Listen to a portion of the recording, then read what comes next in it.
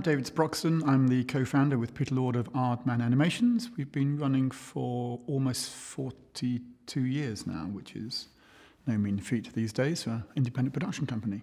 Well, Early Man is really a kind of underdog, I suppose you really call it an underdog sports movie, and that's what Nick's called it.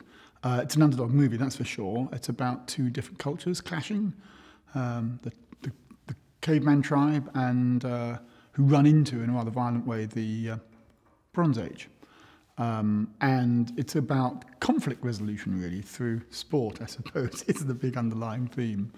Um, it was an idea that Nick had actually quite a long time ago, so many years ago, you know, the origins of sport and the origins of football, and at what point did cavemen stop clubbing each other to death as a way of conflict re res resolution, at what point they realised there's got to be a better way, and actually, how did, how did football start anyway? So all that stuff kind of got in his head. He's not a football fan, funnily enough. He, he doesn't really follow football at all. Um, and that, that idea, we, you kind of see in the prologue of the film. And then the rest of the story kind of plays out uh, with Doug and Hobnob and the others.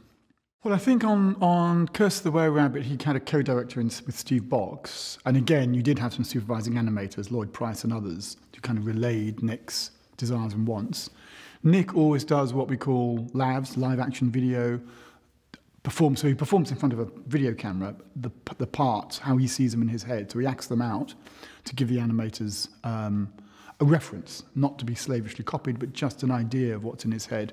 And I think also from Nick's point of view, it's a way of him getting to grips with, with, the, with the characters and actually how they're going to interact. And clearly he's got in his head the physical comedy that he wants to put on screen, so he'll act that out as well. And the animation supervisors, in this case, will Becher and Merlin Crossingham, they did that work as well, kind of with Nick. But Nick decided on this one he wanted to just direct the film himself without a co-director partner. And of course, it's a huge workload, particularly in editorial, because you're editing and you're still writing bits of story as you go along. So it's a lot to take on board. So this time he kind of wasn't on the floor a great deal. Left that pretty much to Will and Merlin and spent a lot more time in, in edit actually wrestling with the films that was coming through and also wrestling with story changes that we were making towards the end of the film. It's interesting because uh, if you roll the clock back and looked at Chicken Run, which had, well, had, had quite a big scale to it as well, um, we had you know big scenic backgrounds, you know painted, hand painted, they were 20, 30 feet across. Um, and we worked in two scales. We had, you know, most of the chickens were about this big, and they had long shot chickens for the scenes of all the huts, and particularly when they're interacting with the humans. I think if we did it now, we'd probably do more CGI on that film. Um, so what you're looking at is what have you got, what are the tools in the toolbox that can help you get on screen what you want to get on screen and make it a cinematic experience. And then, okay, let's kind of do the shot breakdown. How are you actually going to achieve this shot? Well, if we're doing, say, blue screen skies for that shot, we may as well do it for the whole sequence. Um, it also means things like how much space, how much physical space have we got to lay out the sets? How big is this set going to be? Is there a way in which actually we could save space and do set extensions? I mean, the, the thing here, the big thing here was the arena at the end with its theoretical like 30,000 spectators. We knew very early on we're going to have to do those CGI, so quite a lot of work went into the design of, the physical arena. We built the first tier of, of seats, um, and then the other two tiers are CGI. And in fact, the three or four tiers came about because quite early on, Nick wanted that very funny gag of Doug tumbling through all the seats and going through kind of tier after tier and realize, oh my God, to get that, you're going to, playing that classic repeat action gag, it means we've got about three or four tiers of seats, which means the arena is going to be really big. so we're going to have to do it kind of CGI. And then there are things like, you know, uh, distant extra, uh, the football scenes at the end. Some of those characters are CG, the long shots are CG most all the all the core action is, is stop frame action. So there's very little, if almost non uh, core uh, hero activity, which is done in CG. All the close-ups, all the mid shots are all puppetry. And it's slightly, slightly horses for courses whether or not we build a set. I mean, most of the sets, again, are physical. We built most of them. Most of the skies we uh, put in as a composite, simply because we wanted mood changes over the skies, and that would require an awful lot of scenic art. We still have to do the scenic art, but you can do it on a smaller scale. And of course, it means you can grade it to match later. Uh, you can sort of dial in how much, you know, there's a certain amount of green in some of the skies, kind of reflecting the the polluting nature of the Bronze Age city, that kind of idea. But rather than lock ourselves in with a, with a, um, a scenic painting on a big canvas, we said, actually, we'll do this. We can put this in post. Gave us more flexibility. And these days, I mean, we used to work out, oh, you know, it's going to be 1,500 shots. I reckon uh, five, 600 of them will have sort of CG elements in them. We now say, actually, let's imagine almost every shot will have something in it. It might just be taking out support rigs. Uh, there'll be some digital element in the shot. So we kind of roughly plan for, let's imagine every shot has something, and hopefully we'll have some change to take home later. Um, because you just learn that as the thing progresses, you're going to add elements. Um, and it might, might not be all the shots, but there might be something within that sequence which is going to have to be done CG. It is, you know, it's a great toolkit we've got. And even, you know, they were shooting stop frame in its traditional way, you know, we can now have a lot more support rigs, so you can be more ambitious with the actions, with the puppet action. You can get them to leap up in the air. You can do a lot more flamboyant stuff because you can put these rigs in, and then you take them out in post. So that gives the animator actually a lot more freedom and a lot more expression for the characters. And the pipeline, of course, so that's entirely digital. You know, we're shooting on digital uh, SLRs. Um, we have huge files. We shoot kind of raw files and then they get compressed. But the actual the tool that the um, animators use is, is Dragonframe, and that's an incredibly sophisticated animator's workstation now. It gives, you know, we can put in the animatic in there, we can put in the, the you know, the um, um, the outgoing shot and the incoming shot, so you can see, and you know, the animator can see how that fits. You can put in the dialogue. You can put in all your lighting states. So if the lighting's changing during the shot, that's pre-programmed. So it's an amazing, you know, the, the digital world has enabled us to do very traditional type work in a very sophisticated way. It, it's brilliant, actually. It's fantastic. I think if you use the analogy of a kind of concert pianist, a lot of people can play the piano. There are not that many great concert pianists. So, and to be a great concert pianist, it takes two things a certain amount of innate talent and a lot of practice. Uh, and I think what we found is that a lot of the, you know, the film schools, the animation schools, uh, they don't necessarily focus on the performance side of animation, what you're actually acting, you know, what Ed Hooks teaches at FMX, for example. Um, and a number of reasons I think it takes time. Like, you know, if you're going to be a concert pianist, you're going to rehearse, you know, five, six hours a day at least, five, six days a week, you know, for several years to get absolutely up to that level.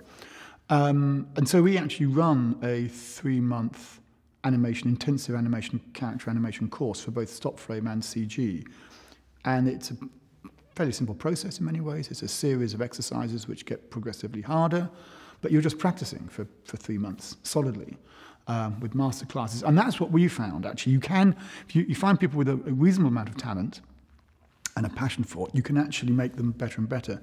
And of course, we still have a lot of the animators that we trained pre-Chicken Run. We did two six-month courses way back uh, in a similar vein in the run up to Chicken Run, and that produced actually about a dozen pretty good quality animators. And of course, they've done Chicken Run, they've done Curse of the Were Rabbit, a load of commercial work, so they've, they've had a lot of practice.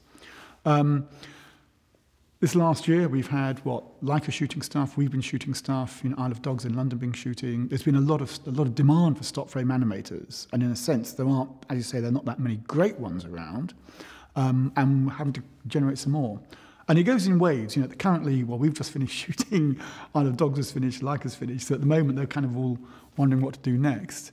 But you can, you can, you know, it's a craft. It is definitely a craft, like acting in a sense. The best ones have an acting sensibility, and that's what we kind of hone for them. Okay, you, you have an acting sensibility. You've got to impart that into this still stop frame puppet. So how do you do that? And we, we, you can teach them. And I think it's more akin, well, it's interesting, isn't it? Because it's more akin to an acting performance in the in conventional animation, whether it's 2D, classical 2D animation, or even CGI, you can put your key positions in, you know, frame 1, frame 12, frame 24, whatever, 36, and you can go back and kind of fill them in. In stop frame, you, you, you can't do that. We're shooting kind of linearly. We'll block out the, you know, the, the move to make sure it kind of fits within the, you know, the, the shot length. But actually, it's a linear performance. You go from frame one to frame 100 in a linear way. So that, I think, is a difference. What's interesting, I think, is that when we, when we did Flushed Away, we trained a lot of our a number of our stop frame animators in CGI. And they became very good CGI animators because they naturally had this understanding of 3D space, weight and hips and everything, and had been trained in you know, linear progressive animation. So they actually, they actually took to it like a duck to water. And obviously some of them stayed doing CGI. A lot of them said, I want to go, I, I love doing stop frames, so I'll go back to doing that. And I would say it was absolutely right. Every film we've made, you hit, you hit a moment, how that, you know, which is mostly a story moment.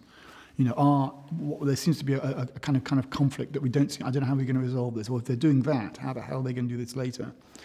You hope you've resolved a lot of those in the writing and the animatic stage. But there were times, and it happened a little bit on Early Man, actually, you know, we knew, I'd, I'd actually said, we said jokingly to each other, now the football scene is going to be really complex to shoot. We we, can we shoot that first? And of course, you never do, because you kind of shoot it broadly, chronologically.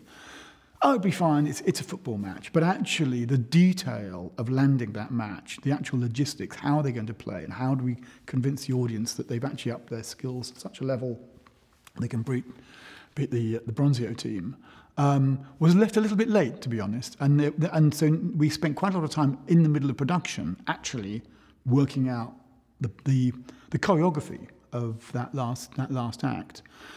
Um, and that's what I would say. You tend to, the things you stumble on or stumble onto, or the things that make you stumble, are story, uh, story moments more than practical moments. Sometimes, you know, you'll have a, how the hell are we going to, get that on screen? Well, there'll be a solution. We'll find a solution, whether it's a, an in-camera solution or a, CGI solution. So the things that keep us awake at night are actually story, story problems more than anything. Yeah, I, the funding situation is is changing greatly. When we set about doing the first Shaun movie, we'd finished the, the Sony relationship had come to an end. You know, our feature films have broadly been, in a way, the Hollywood model. We've made them in the UK, but they've been funded and marketed by either DreamWorks or Sony. Um, and we kind of were going to almost default back to the classic British independent production company, uh, whereby you gather the money from a number of different people, possibly you know a dozen or more different funders, and it's a real jigsaw. And we thought, oh my God, that's going to be tricky because you're then answering to a lot of different people, and who's going to market it, who's going to get it out there. We're going to have a lot of sub agents all, all over the world, and uh, we were very pleased actually when we started having conversations with, with Studio Canal. You know, they're now part of Vivendi, so it's a bigger, they've got a quite a big vision about their, their film output and their distribution. Um, but I think we're now in a situation, as you say, where there are other players in the mix, and it is sort of disrupting certainly that conventional, you know, theatrical release onto TV and what used to be kind of DVDs and stuff. And certainly in the other areas that we work, which is the TV, the kids series, or the family family program for, for what we call broadcast with a small b, we are beginning to talk to you know, the Netflixes, the Amazons, and, and the Googles and the Apples of the world. Um, they use what they call them, they call them FANGs, don't they? Was it Facebook, Amazon, Apple, Netflix, and Google? Uh, they've clearly got a lot of money to play with.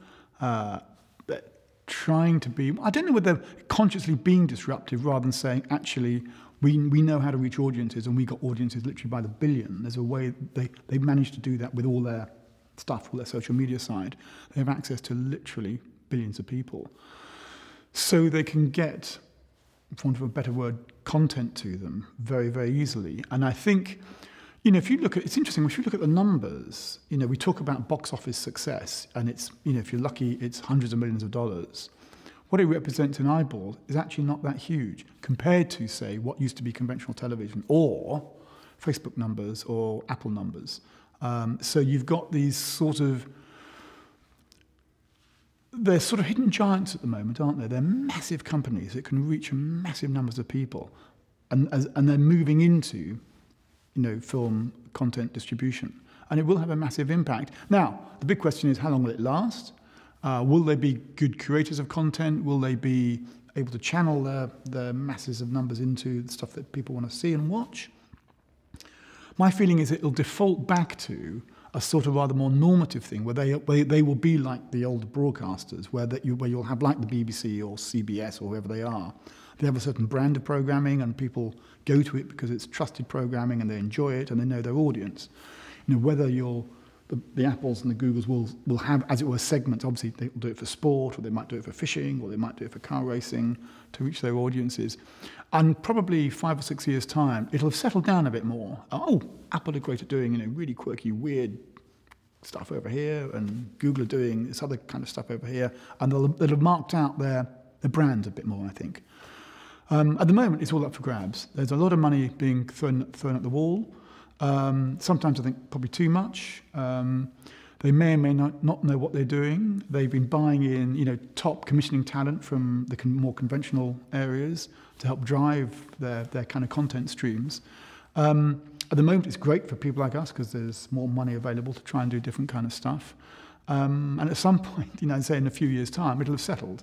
Um, I think you know, the big studios, I think they're going to have a hard time because relatively their numbers theatrically are, are relatively small compared to the reach of these of these FANGs.